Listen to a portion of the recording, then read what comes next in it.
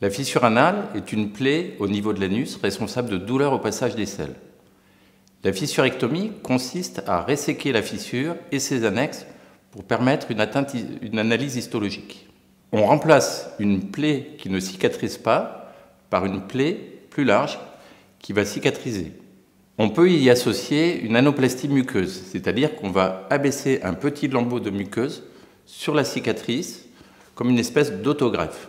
On peut y associer une sphinctérotomie en cas de fistule ou d'hypertonie majeure, mais ce n'est pas le plus souvent.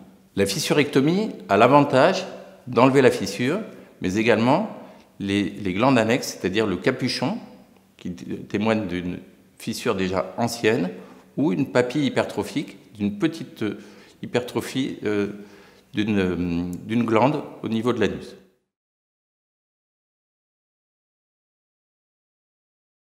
L'intervention est réalisée dans un bloc opératoire sous anesthésie générale ou rachianesthésie.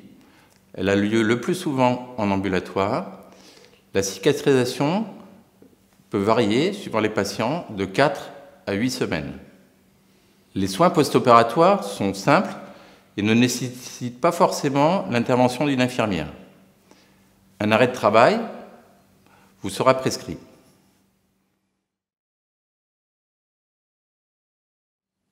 Les complications à court terme, saignement, troubles urinaires, constipation, mais en général très bien prise en charge par des laxatifs qui sont donnés euh, très rapidement après l'intervention, et rarement des infections locales.